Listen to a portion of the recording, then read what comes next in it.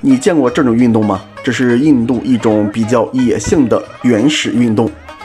它的比赛规则是只准用手，不准用脚。用手也是有标准的，那就是只能用巴掌扇，不允许用拳头。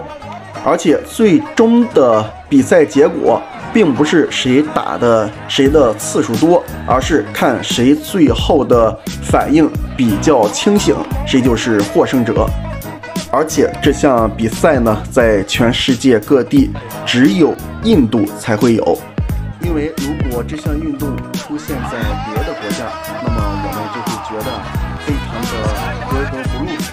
但是这项运动在印度出现，我们就会觉得非常的正常，因为印度一直以来被我们认为是一个奇葩的民族，也是一个开挂的民族，而且呢。这项运动里的裁判就是里面穿白色衣服的人呢，他们基本上是发挥不了任何的作用的。说是裁判，只不过是站在场中央看表演的一个普通观众，因为他对这场比赛起不到任何的决定性作用，反而呢会一直笑呵呵的看着两位印度选手在互相扇耳光。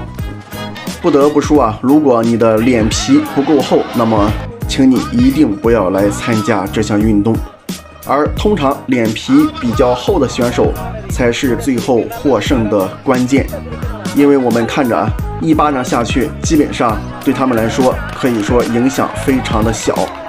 我们看看这一套连招是不是特别的像降龙十八掌啊？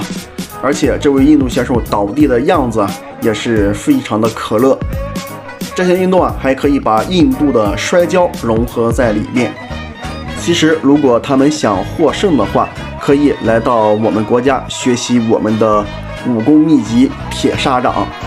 练成之后呢，在印度绝对是无敌的存在。据听说啊，印度还想把这项比赛申请加入到亚运会里边，但是呢，被无情的拒绝。被拒绝的原因，相信大家都非常清楚，因为我们并不适合这项运动。